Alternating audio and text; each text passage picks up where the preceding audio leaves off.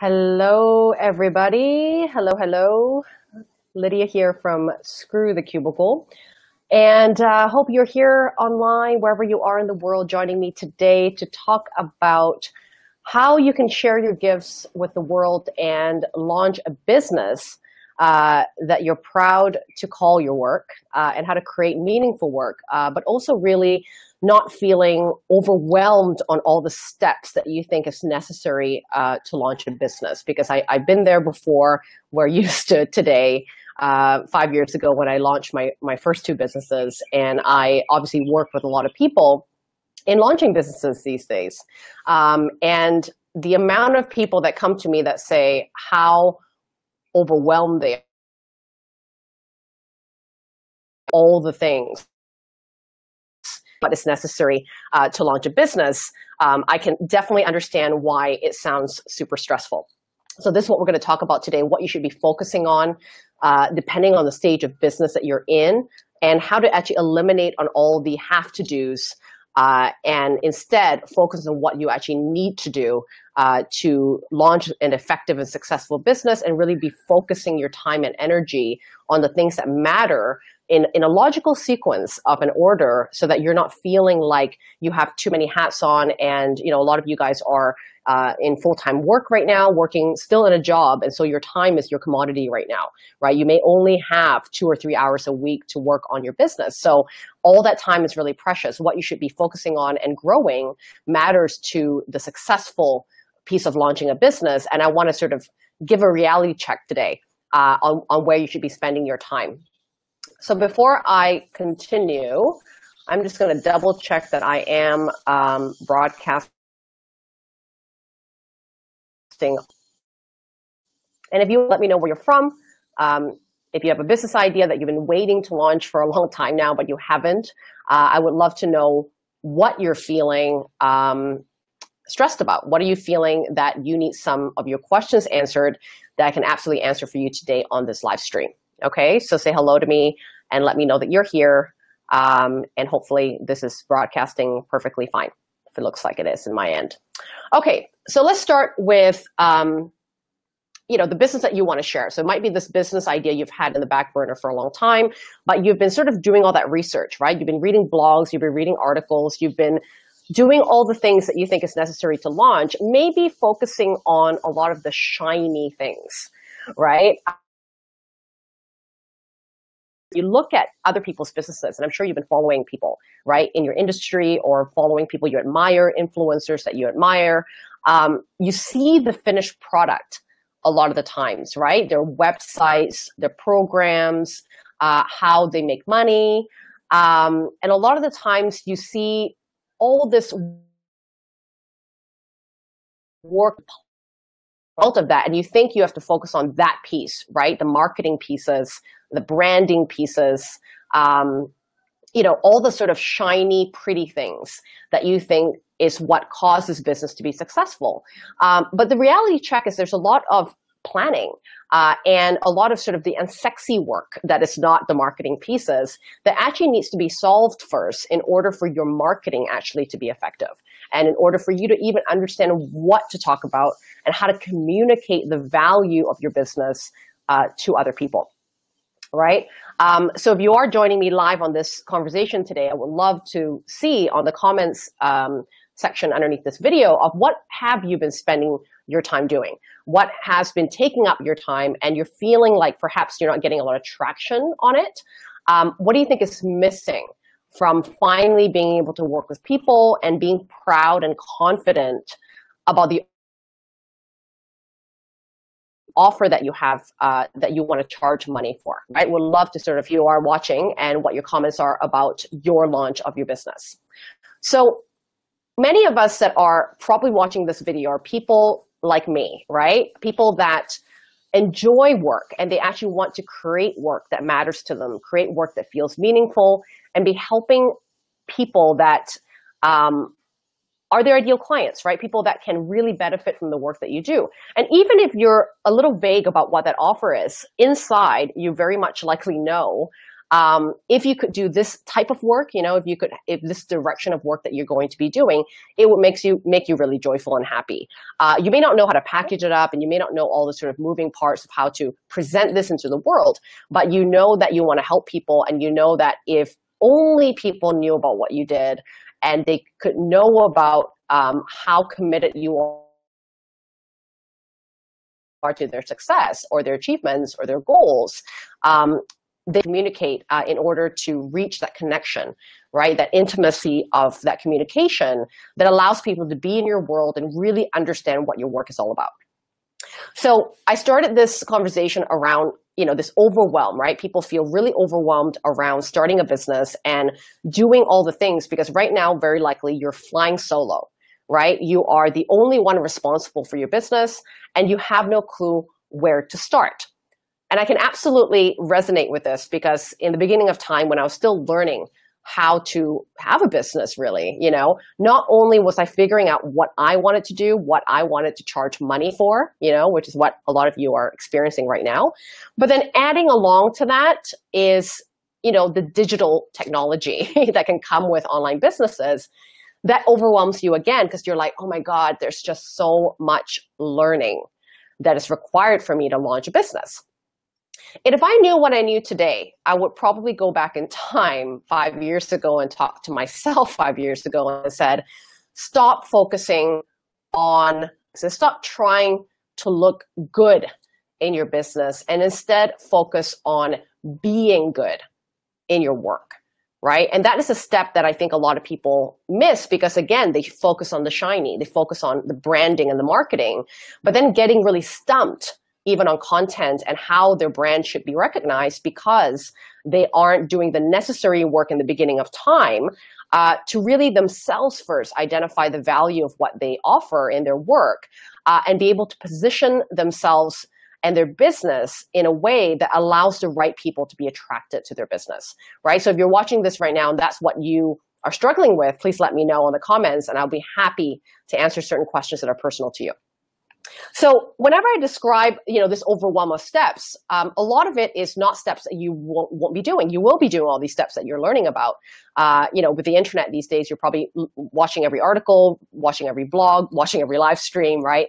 That comes your way about what's necessary to launch a business. But, and all those things are, are right. You know, they're true to having this overall um, actions that need to happen in your business. But not all of these actions are necessary to be done all at the same time. There's sort of a sequential, logical, step-by-step process that is more effective, I think, uh, that that that you know you need to be focusing on in order to do this step by step and to be able to feel completion in these steps in order to feel like your business is finally out there and you're proud to show it to the world. So I like to always use this analogy of building a house, right? Building a business is sort of very similar to building a house where you don't want to go into hiring an interior designer and decorating your house. This is the marketing bits and the branding bits, right? The pretty things of your website. Um, you wouldn't do that when you build a house, right? You would uh, initially hire, you know, first of all, you probably need to get a land surveyor, make sure that the foundations of what your house is sitting on is solid.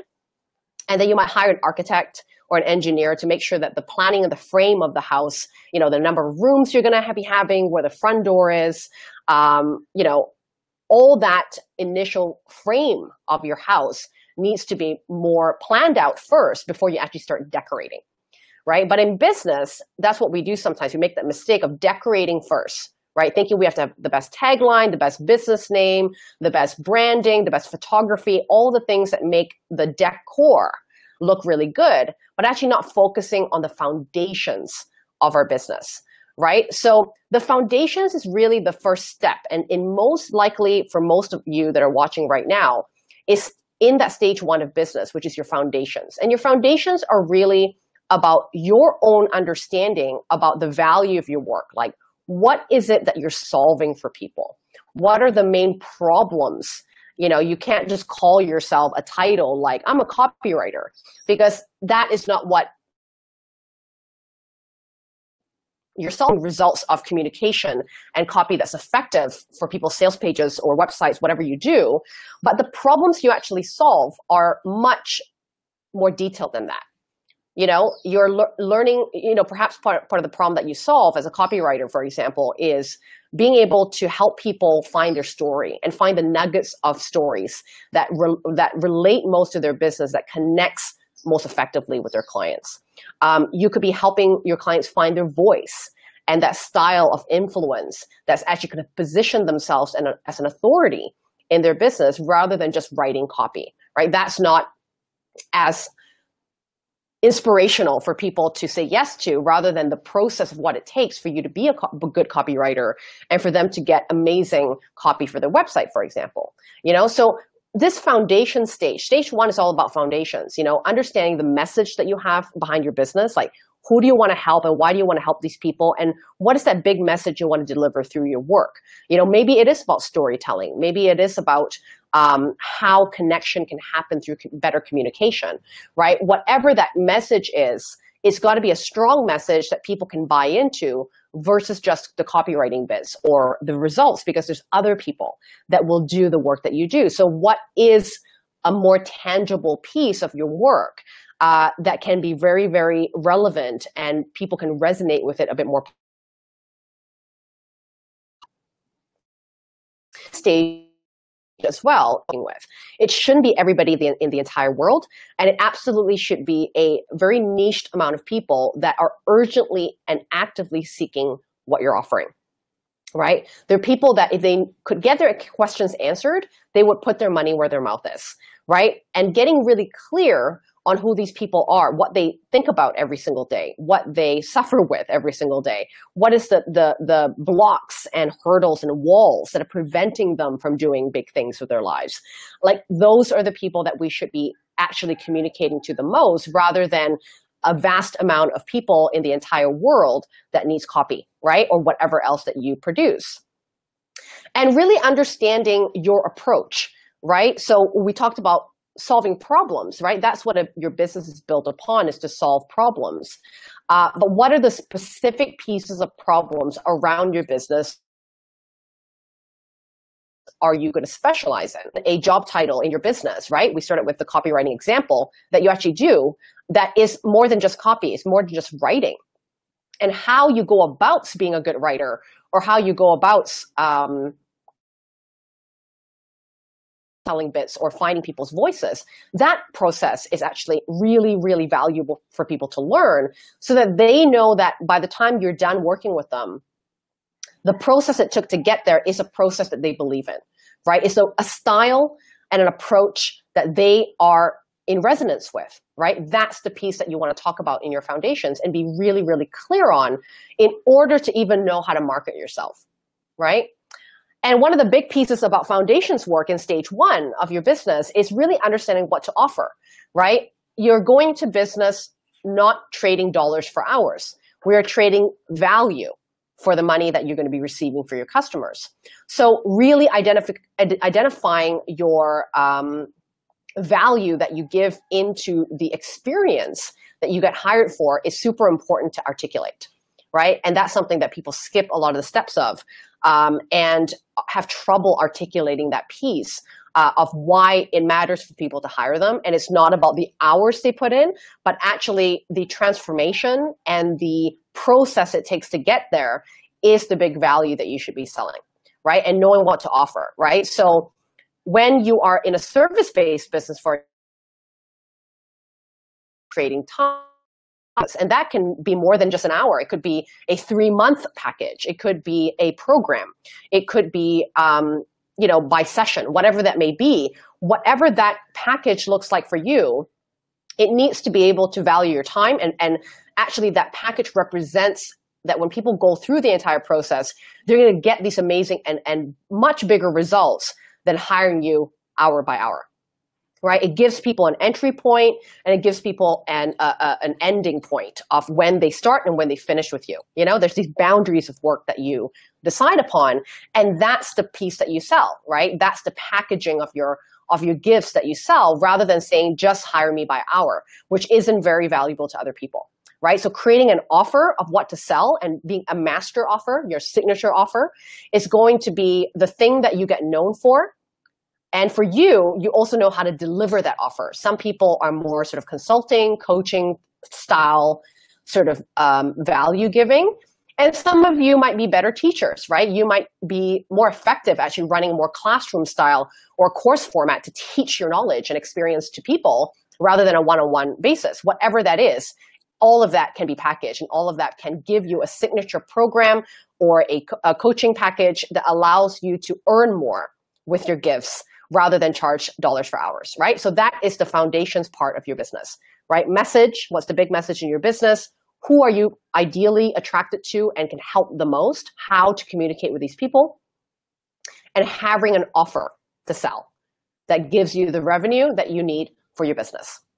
So that piece is really going to define everything else that you're going to be doing in your business, which is your marketing, your branding, your out before you really know the value of your work and the offer that you want to share is really, really hard to market your business. So that is the first stage of, of, of your business foundations.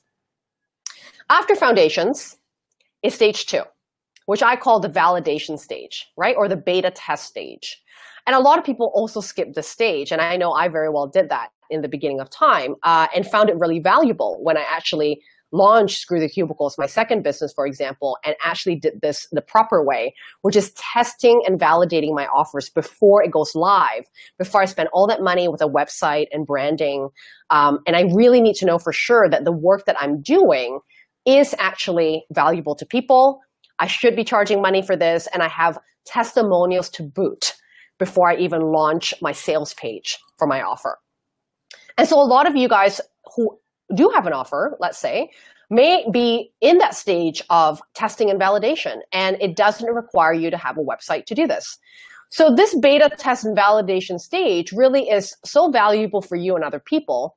Starting with you is because it gives you the confidence to actually perform in the role that you want to charge people for, right? So you're actually receiving real evidence by going through the personal humans in this beta test stage, this validation stage in order to validate what you do, but also to refine and improve your processes as you work with people so that when you actually market you know the offer on your website later on in the marketing stage you're really confident about what to talk about that was really transformational for people right? Because when you do a beta test run of your processes when you have a small group of almost guinea pigs to test out your services or your products um, it allows you to see what they really value, right? Part and parcel of the beta test stage is to get feedback. You know, getting feedback for what worked, what didn't work, what could be clearer, what could you create a little bit more clearly to articulate what it is that you're trying to help them with and how you help them. That could be exercises that you create. It could be the way that you perform a coaching session. Uh, it could be um, the videos that you film for a course, right? All that should be validated by real humans before you really, really launch it out there and start charging money for it. and I think a lot of you guys could be in this stage as well. And so another great thing about the validation stage is the testimonials, as I mentioned, having real people vouch for your work before your website gets launched is going to give you so much of confidence boost. You know, it's going to absolutely give you the ability to actually market what you do because you've actually gone through it. You know, you have a real case study, real case studies, a lot more than that is going to allow you to really talk about the process of the work because you've gone through it, which I think is super important. And then only then you would move into the stage three, um, which is right before the launch of your business, which is the visibility stage, right? Being um, recognized and noticed for the work that you do and how to create that intimacy and connection and personalization to the ideal clients that you want to attract to your business in order to lead them from being interested to buying customers, right? And in the industry that they might call it funnels, they might call it a visibility plan, they might call it marketing, but what it is is really how you show up in your business and how you show up for other people that invites people into your work life, right? That invites people into um, asking questions from you, in, into getting value from you um, through videos, blog posts, whatever it is that you produce in the visibility stage, um, that gets them trusting your credibility and building your expertise at the same time. As we know with people buying, it doesn't take just a one time view of you for them to go, oh, right, that's the woman or, or that's the man for me. You know, there is a nurturing process uh, of connecting relationship with your ideal clients and your community in order to lead people to even work with you in the first place, right? What is that visibility plan for you? And, and not about choosing every single platform to be visible on, but really the platforms and stages uh, in, in the online world that allows you to communicate in the style that you are most suited for right? Some of you guys are better writers. Some of you guys are like me, where we're better talkers and it feels more natural that way. You want to go with ease, right? The way of expression that feels most natural and genuine to you should be the way that you market your business and you pick the right platforms that best represent that voice for you, right? And that could be just one or two things to start. So for me, for example, I'm a great, you know, I'm a much better, better speaker and a better explainer of things when I talk. Um, and so videos and YouTube and live streams and webinars work so much better for me than trying to do things like Instagram or um, you know any sort of or anything like that that takes me a lot longer to produce. And so when you first start out, as I said, your time is precious. You want to be focusing on the right things that matter. And sometimes the right things that matters are the things that feels easiest to you. Right? So you're in stage three of visibility, picking the right ways of expression is absolutely part and parcel of making it easy for you, right? So as you sort of see this, these three stages of business, my question to you is what stage are you in, right? Stage one is about your offer, about defining your clients, defining how you will solve problems for people. Are you there yet? And if you're not there yet, you should be focusing on that stage instead of skipping ahead and going straight into branding and marketing. And then if you do have an offer and you're going, oh, I don't know if people will buy, very likely you're in the validation stage, stage two. How can I test this and validate it and conf confirm my confidence that's necessary to actually promote this product or service I've created? And that might mean you're in stage of validation where you're recruiting and inviting beta testers to test out your, your, your services and products before you decide to launch it to the world and receive the feedback and data that's necessary to plan out your communication plan to launch your business to the world. And if you've done testing, you've been working with several people, you know, in the last few months, then you might be ready for stage three, right? Which is the visibility piece. How can you be positioned as a thought leader? How can you be positioned as an influencer? And what does your communication plan and your visibility plan look like that best expresses you in the most natural form? So don't skip the stages and also don't try to do different stages at once because you're going to get overwhelmed. So focus on the right stages that matter. So one of the things that I'm going to be talking about this week, which is happening tomorrow, uh, is my free webinar I'm running called How to Create a Thriving Business with Your Gifts. So I'll send you the link over here into, hopefully it appears on the screen. It's bit.ly uh, forward slash thrive with your gifts. You can sign up for free, and I'm running a one a one hour webinar, uh, which is going to be May 23rd, 8 p.m. Eastern time, uh, 5 p.m. Pacific time, and it is a recorded webinar where I'm going to be going through these stages of businesses and what to focus on, but also what are the things that internally you have to get really good with in order to be confident about expressing your skill sets to the world and which boundaries of skills that you're willing to contribute to your business so that you're not doing all the things for everybody uh, just because they request it.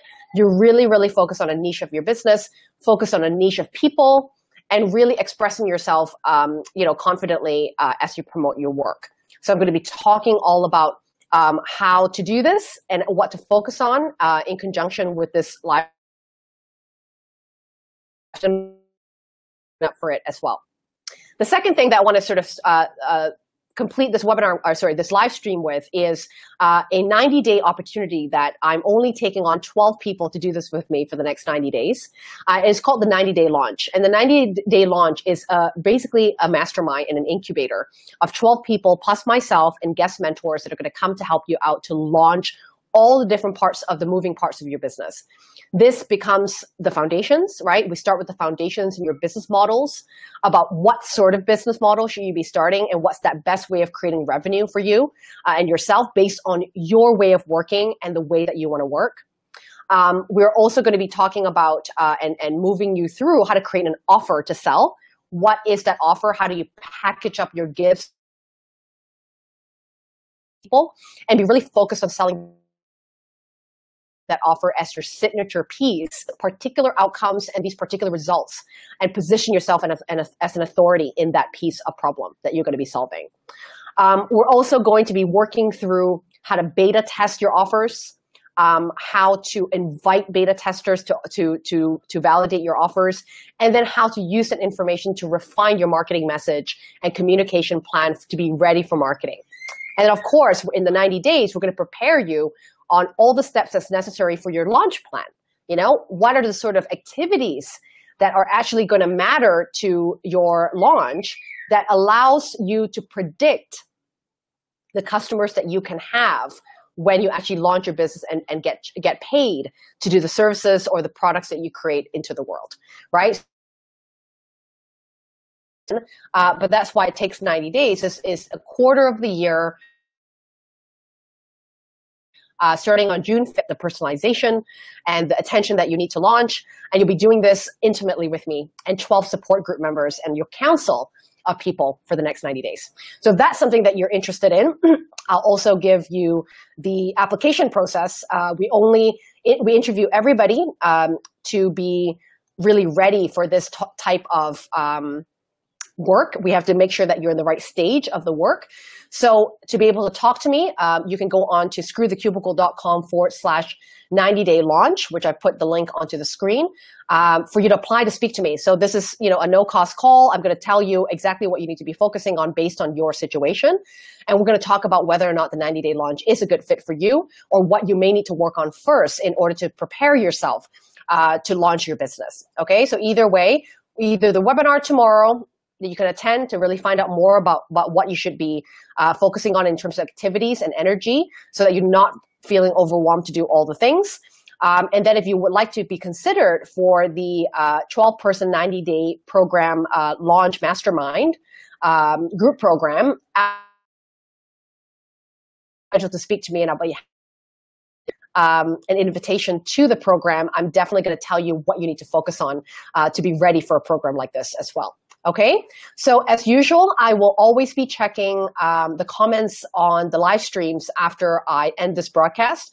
So please make sure to send me your questions about your struggles and your hurdles when it comes to launching your business or how to form this idea, right? Of um, repurposing your gifts into a business idea and learning how to get paid to share your gifts into the world. I would love to hear from you.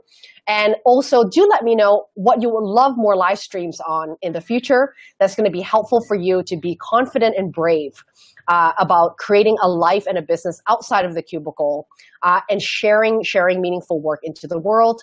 I would love to hear from you and I'll be sure to, of course, uh, use your talk. Uh, thank you again for joining me, and I hope that was really helpful to you. Um, let me know what you thought. Give me your questions. And I hope to see you at the webinar tomorrow. Um, and I will talk to you soon. Have a great rest of your day or your night, wherever you are. See you later.